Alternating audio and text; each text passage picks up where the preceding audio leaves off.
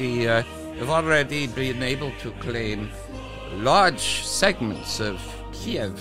First of all, you you you're mispronouncing that, and it's, it's not a place you are. Okay, so so you said you toppled the government. That hasn't happened.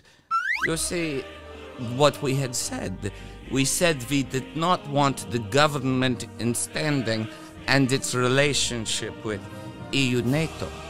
But what we have accomplished already is a complete dominance of the air and But they sunk that ship, which was your, your what? Your defense. I mean, You, you, you misunderstand.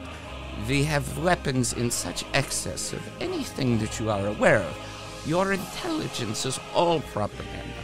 What we have done is dominated both the seas, you have a point about losing a particular uh, ship, as well as uh, uh, really uh, ground and you have retreats of the troops on the ground, and you don't even outnumber anyone anymore.